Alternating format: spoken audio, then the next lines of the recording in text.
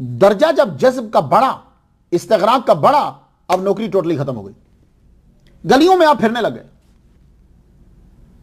तो जब तक आपका ध्यान जिस्म पर रहता है ना तो फिर आप जिस्म के तकाजों को पूरा करते हैं। जिस्म को कपड़े चाहिए, फुल कपड़े दो। जिस्म को खूबसूरती चाहिए, जिस्म को खुराक चाहिए। और जब आप ध्यान देते हो रूह की तरफ़ तो फिर आप रूह के तकाजे पूरे करते हो। रूह को फिर इबादत चाहिए होती है। रूह को खुदा का ज़िक्र चाहिए होता है। रूह के लिए ये कपड़े कोई माना नहीं रखते।